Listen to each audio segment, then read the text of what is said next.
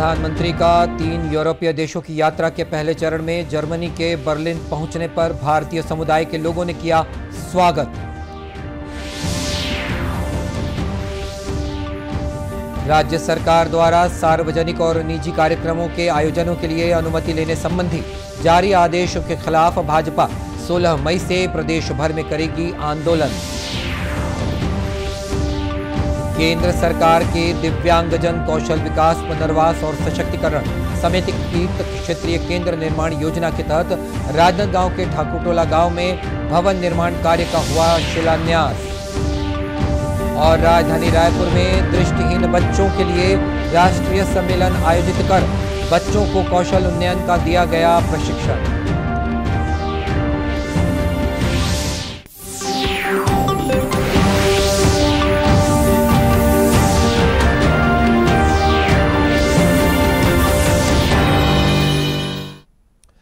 नमस्कार आप देख रहे हैं दूरदर्शन समाचार मैं हूं मनीष अहलुवालिया और अब समाचार विस्तार से प्रधानमंत्री नरेंद्र मोदी तीन यूरोपीय देशों जर्मनी डेनमार्क और फ्रांस की तीन दिन की यात्रा के पहले चरण में जर्मनी की राजधानी बर्लिन पहुंच गए हैं बर्लिन पहुंचने पर भारतीय समुदाय के लोगों ने उनका भव्य स्वागत किया श्री मोदी एक मनमोहक गीत गाने के लिए एक नवयुवक से मिले और उसकी प्रशंसा की श्री मोदी ने उनका चित्र बनाने वाली एक बालिका से भी मुलाकात कर उससे बातचीत की बाद में एक ट्वीट संदेश में प्रधानमंत्री ने कहा कि भारतीय समुदाय से मिलना बहुत विशेष रहा और देश को अपने प्रवासी भारतीयों की उपलब्धियों पर गर्व है अपने प्रवास के दौरान प्रधानमंत्री नरेंद्र मोदी और जर्मन चांसलर ओल्फ शोल्स छठे भारत जर्मनी अंतर सरकारी विचार विमर्श बैठक की सह अध्यक्षता करने वाले हैं द्विवार्षिक विशेष मंत्रणा में दोनों पक्षों के कई मंत्री भाग लेंगे प्रधानमंत्री का चांसलर शोल्स के साथ ये पहला अंतर सरकारी विमर्श होगा जर्मनी में पिछले दिसंबर में नई सरकार के कामकाज संभालने के बाद दोनों देशों के बीच पहली अंतर सरकारी विचार विमर्श बैठक होगी जर्मनी की यात्रा समाप्त कर प्रधानमंत्री नरेंद्र मोदी कल डेनमार्क के प्रधानमंत्री मेटे फेडरिकसन के निमंत्रण पर राजधानी कोपहनगंज जाएंगे प्रधानमंत्री श्री मोदी की ये पहली डेनमार्क यात्रा है और डेनमार्क के प्रधानमंत्री के साथ तीसरी उच्च स्तरीय वार्ता होगी इन बैठकों में वैश्विक और क्षेत्रीय हित के मुद्दों पर विशेष रूप से विचार विमर्श होगा प्रधानमंत्री भारत डेनमार्क व्यापार मंच के कार्यक्रम में भाग लेंगे और भारतीय समुदाय के लोगों को संबोधित भी करेंगे चार मई को श्री मोदी दूसरे भारत नॉर्डिक शिखर सम्मेलन में भाग लेंगे भारत नॉर्डिक शिखर सम्मेलन के दौरान प्रधानमंत्री श्री मोदी अन्य नॉर्डिक नेताओं के साथ भी बैठक करेंगे विदेश यात्रा के अंतिम चरण में प्रधानमंत्री श्री मोदी कुछ समय के लिए पेरिस में रुकेंगे जहां फ्रांस के राष्ट्रपति इमैनुअल मैक्रों से उन मुलाकात करेंगे फ्रांस के राष्ट्रपति चुनाव के बाद श्री मोदी की फ्रांस यात्रा दोनों देशों के बीच उच्च स्तरीय गतिविधियों को आगे बढ़ाने का एक अवसर है तीन यूरोपीय देशों की यात्रा पर रवाना होने से पहले प्रधानमंत्री ने कहा कि उनकी यूरोप यात्रा ऐसे समय पर हो रही है जब यह क्षेत्र कई तरह की चुनौतियों का सामना कर रहा है उन्होंने कहा कि अपनी बैठकों के माध्यम से वे यूरोपीय भागीदारों के साथ सहयोग की भावना को मजबूत करना चाहते हैं प्रधानमंत्री मोदी ने कहा कि भारत की शांति और खुशहाली के लिए यूरोपीय साझेदार महत्वपूर्ण साथी हैं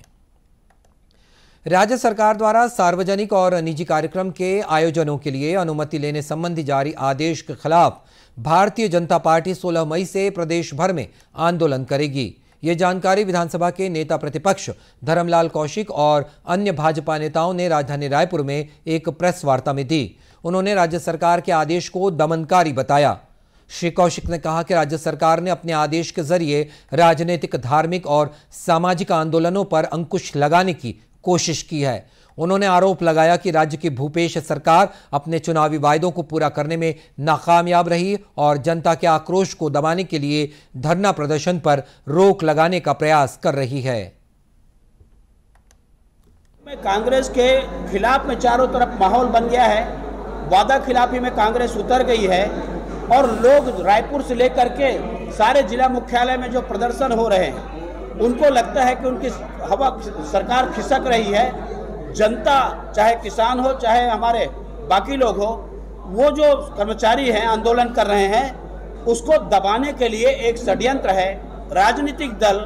जब उनके वादा खिलाफी को यदि बीच में रखते हैं आवाज़ उठाते हैं तो उनको दबाने का एक कुचक्र है और ये सर्कुलर उसी के लिए जारी किया गया है हम सरकार से मांग करते हैं इस काला कानून को वापस लिया जाए इस बीच भाजपा के राष्ट्रीय उपाध्यक्ष और पूर्व मुख्यमंत्री डॉक्टर रमन सिंह ने भी राजनांदगांव में पत्रकारों से चर्चा करते हुए कहा कि राज्य सरकार के इस आदेश के खिलाफ भाजपा सड़क की लड़ाई लड़ेगी उन्होंने कहा कि पंद्रह दिनों के भीतर इस आदेश को वापस नहीं लिया गया तो सभी जिला मुख्यालयों पर धरना प्रदर्शन कर जेल भरो आंदोलन किया जाएगा भारत सरकार के सामाजिक न्याय और अधिकारिता मंत्रालय के दिव्यांगजन कौशल विकास पुनर्वास और सशक्तिकरण समेकित क्षेत्रीय केंद्र निर्माण योजना के तहत राजनांदगांव जिले के ठाकुरटोला गांव में भवन निर्माण का शिलान्यास और भूमि पूजन किया गया केंद्रीय सामाजिक न्याय और अधिकारिता मंत्री डॉक्टर वीरेंद्र कुमार और सामाजिक न्याय और अधिकारिता केंद्रीय राज्य मंत्री सुश्री प्रतिमा भौमिक ने इस कार्यक्रम का वर्चुअल माध्यम से शिलान्यास किया वहीं मौके पर आयोजित भूमि पूजन समारोह में भाजपा के राष्ट्रीय उपाध्यक्ष और पूर्व मुख्यमंत्री डॉक्टर रमन सिंह सांसद संतोष पांडे और सीआरसी सिकंदराबाद के निदेशक राम कुमार शामिल हुए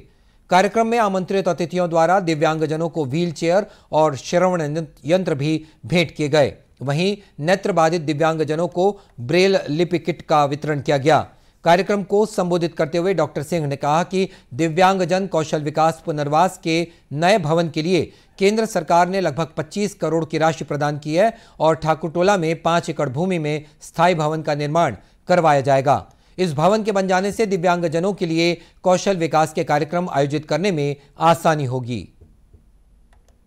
25 करोड़ के लागत से ये भव्य बिल्डिंग है और ये इसलिए मिला राजनांदगांव में कि राजनांदगांव के लोगों ने इस क्षेत्र में बहुत बड़ा काम किया है वो हमारी संस्थाओं ने लगातार दिव्यांगों के लिए विकलांगों के लिए वृद्धजनों के लिए जिस प्रकार काम किया उसका नतीजा है कि माननीय मोदी जी ने इतनी बड़ी राशि दी और वीरेंद्र कुमार जी ने आज इस भवन का लोकार्पण किया भौमिक जी की उपस्थिति में तो मुझे लगता है कि ये अपने आप में छत्तीसगढ़ का एक ऐसा जागृत केंद्र होगा जहाँ विकलांगों की संख्या बढ़ रही है एक से ग्यारह महीने बताया कि 48 परसेंट ग्रोथ है उस ग्रोथ में लोग जो पीड़ित हैं उनके लिए ये पूरे छत्तीसगढ़ में आशा और विश्वास का केंद्र बनेगा कार्यक्रम में शामिल सीआरसी सिकंदराबाद के निदेशक राम कुमार ने बताया कि सीआरसी सेंटर में दिव्यांगजनों के लिए चिकित्सा पुनर्वास भौतिक व्यावसायिक चिकित्सा प्रदान की जा रही है इसके साथ श्रवण चिकित्सा और कृत्रिम अंग प्रत्यारोपण की सुविधाएं भी दी जा रही हैं जैसे जब से दो इक्कीस डिसेबिलिटीज़ हुए हैं तो यहाँ पे इस संस्था में क्या है जैसे पहले अपने हमने बताया हर एक प्रकार का सेवाएं यहाँ पे दी जाती है इसके अलावा जो है इनको जो है खाली सेवाएं देना उनका रिहेबिलिटेशन कराना ही काम नहीं है इनको जो है पुनर्वास कराना जैसे कि अभी दिव्यांग बच्चों को जो है अभी 18 साल के हो जाएंगे वो लोग जो है उनकी जेनरिक स्किल्स और उनके बिहेवियर मॉडिफिकेशन कर देते हैं उसके बाद उनको अपने आप एक इंडिपेंडेंट लिविंग अपने बलबूते पे कैसे ज़िंदगी जीना उसके लिए उनको स्किल डेवलपमेंट भी दिया जाएगा और साथ ही उनको क्या है उनके पुनर्वास के लिए उनको लोन्स भी दिलवाएंगे हम यहाँ पे या उनको जो है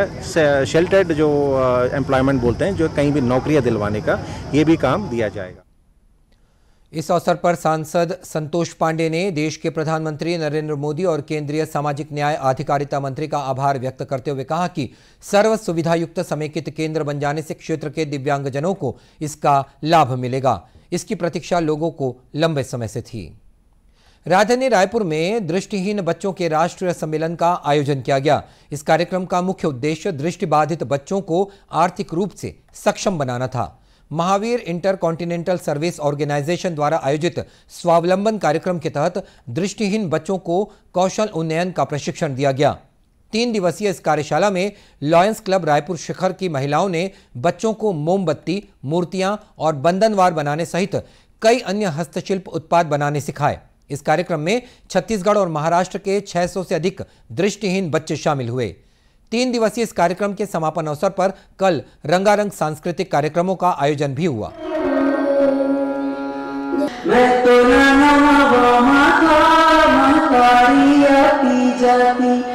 तो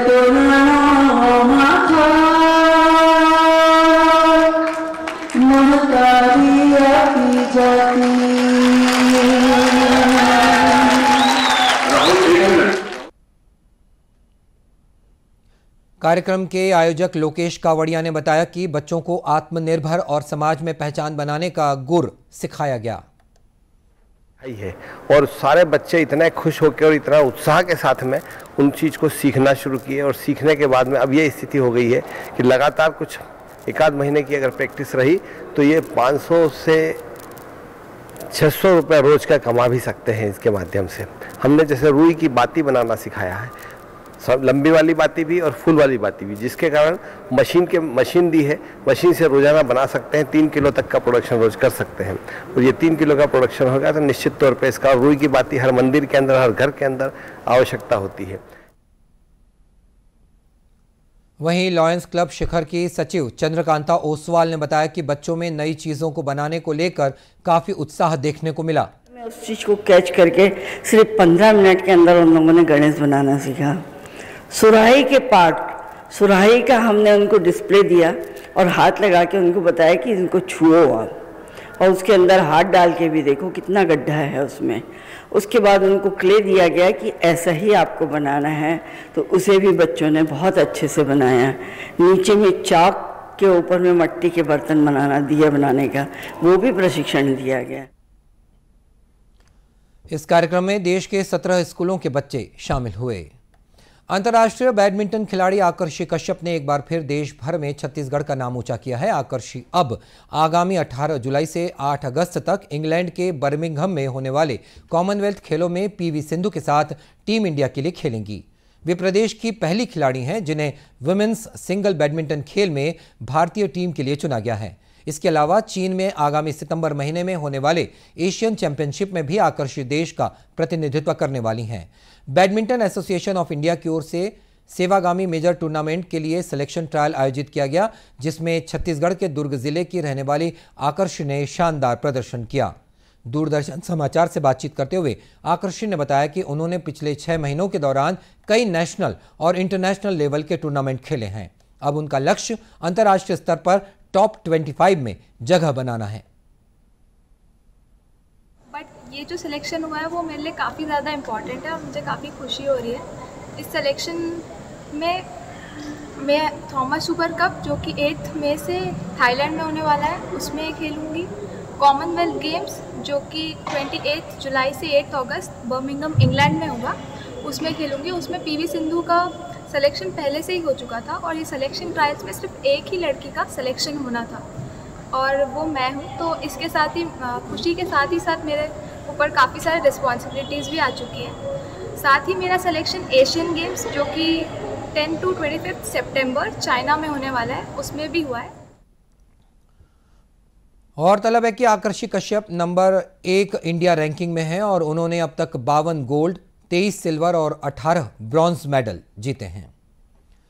रमज़ान के पाक महीने के तीस दिन खत्म होने के बाद कल ईद उल फित्र का त्यौहार प्रदेश भर में हर्षोल्लास के साथ मनाया जाएगा इसे लेकर मुस्लिम समाज में काफ़ी उत्साह का माहौल है और बाजारों में रौनक देखने को मिल रही है भिलाई दुर्ग के बाजारों में मुस्लिम समुदाय के लोग तरह तरह की चीज़ों की जमकर खरीदारी कर रहे हैं जिनमें कपड़ों और मिठाइयों के साथ सेवैयां भी शामिल है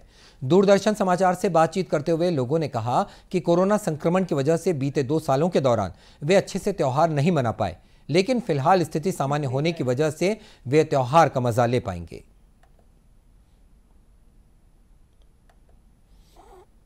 ईद के दिन बच्चे नया कपड़ा पहनेंगे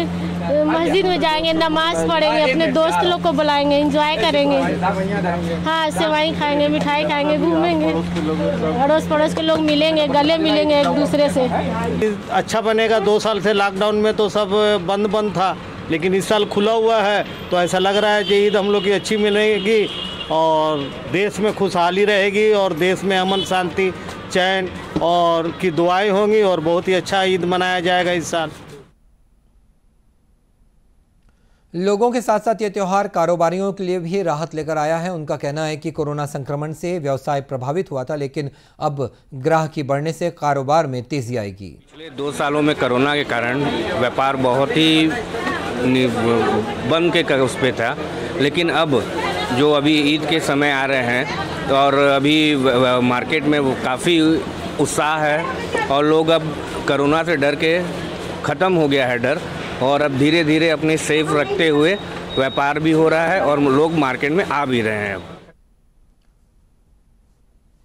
और इधर ईद के मौके पर राज्य की सभी मस्जिदों में आकर्षक सजावट की गई है और इस बुलेटिन में इतना ही इसी के साथ ये समाचार बुलेटिन समाप्त हुआ नमस्कार